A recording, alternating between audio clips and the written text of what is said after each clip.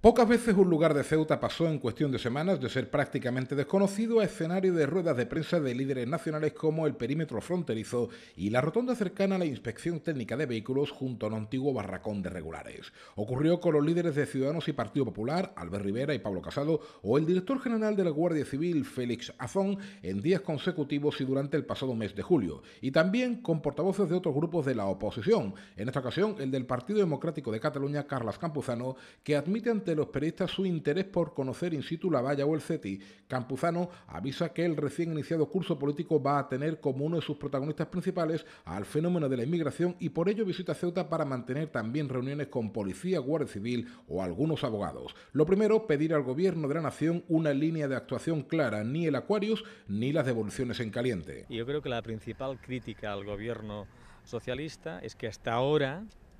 hasta ahora, no ha sido capaz de explicarnos cuál es su política global en materia de, inmigración, asumiendo que este no es ni un reto fácil ni es un reto sencillo. Mm, España se ha convertido en un país de inmigración desde al menos hace 20, 20 años y quizás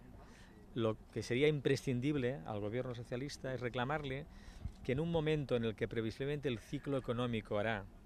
que los flujos migratorios incrementen hacia España, no repitamos los mismos errores que ocurrieron entre el año 1999 y 2008. Campuzano no oculta tampoco su sorpresa por el hecho de que en las magníficas, así las define, instalaciones de la oficina de asilo no se haya tramitado ni una sola solicitud en casi tres años, y admite la escasez de medios de la Policía Nacional y la Guardia Civil, reconociendo que algunos agentes le han transmitido la inseguridad jurídica con la que trabajan, es decir, la ausencia de un protocolo que indique cómo actuar en caso de asalto. Me han comentado algunos de de las personas de la policía con la que hemos hablado es seguridad jurídica. Los policías, los guardias necesitan tener normas claras que les permitan tomar decisiones adecuadas al marco legal. Y por tanto, si el actual marco legal no es suficientemente claro,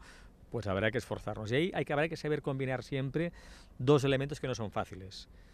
el control de legalidad, el control de la frontera y el respeto de derechos humanos. El parlamentario catalán también se refiere a los menores extranjeros no acompañados. Subraya respecto a la solidaridad de las autonomías que menos acogen con las que más, que 10.000 menores es un número pequeño para un Estado como España, admitiendo que no puede ser que Ceuta, Melilla, Andalucía o Cataluña acojan a la práctica totalidad de estos menores. Yo creo que en el tema de menores eh, no acompañados es evidente que no se puede pretender que sean solo algunos territorios quienes asuman la responsabilidad de gestionar esa, esa realidad. Y cuando uno ve las cifras en Ceuta,